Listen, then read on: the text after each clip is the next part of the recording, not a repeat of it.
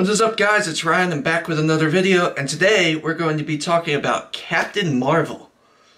And we're going to talk about a lot of stuff in the MCU, and we're going to nerd out in this video.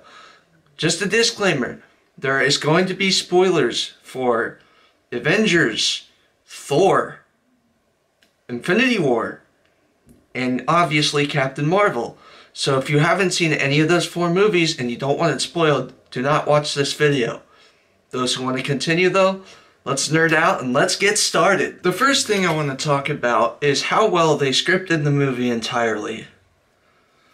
The way that it leaves you kind of confused at first, like, it kind of reminded me of Thor Ragnarok and, uh, what's the other one? Oh, Doctor Strange. Those were the two movies that I thought were kind of confusing at first, but the more you keep watching it, uh, it's, it's amazing. It's one of the best they've made so far. And of course, I love every MCU movie, so that one was really good. I loved how, you know, I thought Brie Larson actually did a really good job acting in this movie. I think she was perfect for the role, contrary to all the political nonsense or uh, maybe feminism. I don't want to get into that discussion. I am talking about the movie, and I think she killed it. She played a great role. She was funny, and those are two people I never thought that would really have good chemistry acting together. Was her and Samuel L. Jackson, but they they they were an ultimate team in this movie. They were great. They were funny. They worked together well, and I really enjoyed it, all the comedy and seriousness, everything involved in this movie between the two of them. Second thing I want to talk about.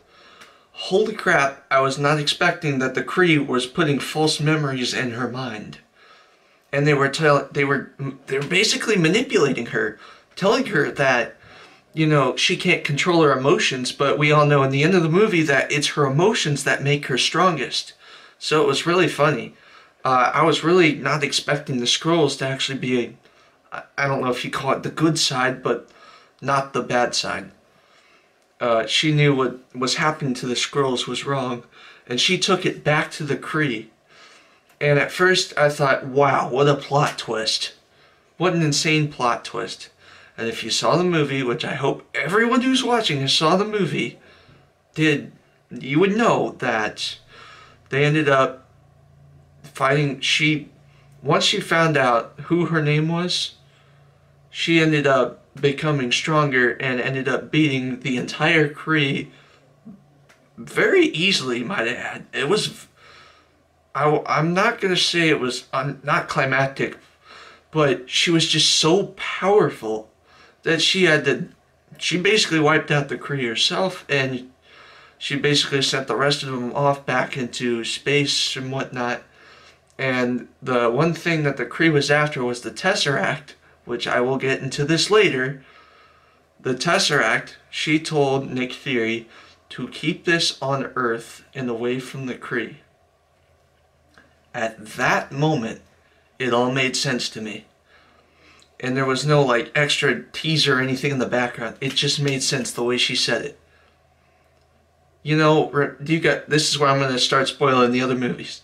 Do you guys remember in the Avengers Infinity War when Banner comes back from space, goes straight to Tony, he says Thanos is coming, and Tony is stupid confused.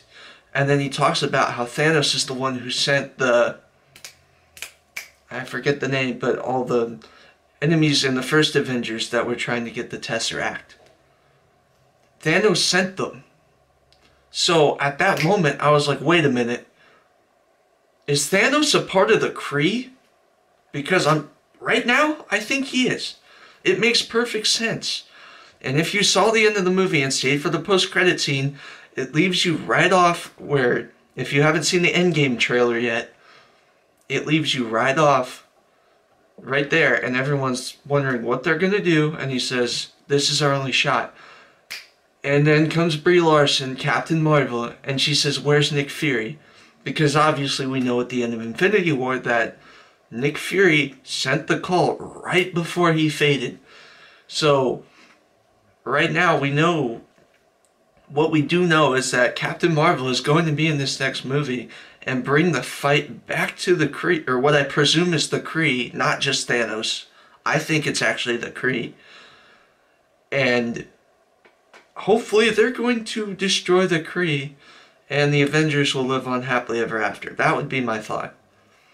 The one thing I thought going into this movie also, I thought, oh, she's going to be overpowered because she's a girl. And maybe because just the way it's scripted, but that's not the case. It was really good.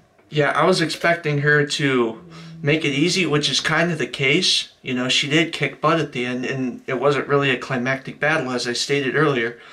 But the one thing that we do know is that she is going to be the biggest tool that's going to lead the fight back to Thanos or the Kree, whoever it may be, who was after the Tesseract. And because she was called, she's trying to get informed on what's going on. So that was amazing how they pieced all this together. It was an amazing, it was an amazing uh, origin story.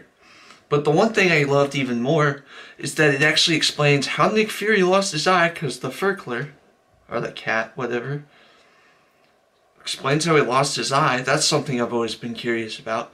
Another thing I loved about it is that we now know how the Avengers started. Nick Fury said we need to put together a team to stop more of these invasions or evil or whatnot. And the other guy, who I forget his name, but he's the guy from Thor in the Avengers who's trying to keep Thor away from his hammer. If you guys don't remember that guy. He says, What makes you think that's going to be a good idea?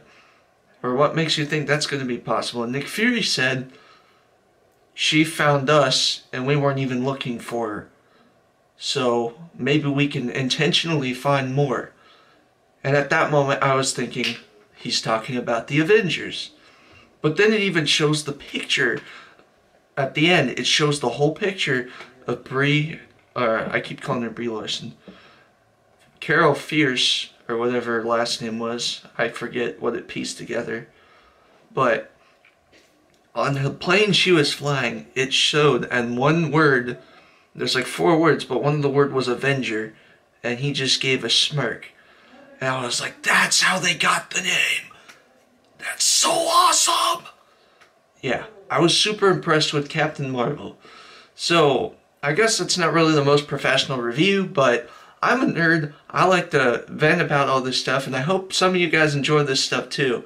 So if you want to talk more about these Marvel, DC movies, superhero movies, whatever movies, I love talking about this stuff. So with that, I'd like to thank you guys for watching. Be sure to like, comment, share, and subscribe for more, and we'll catch you guys next time.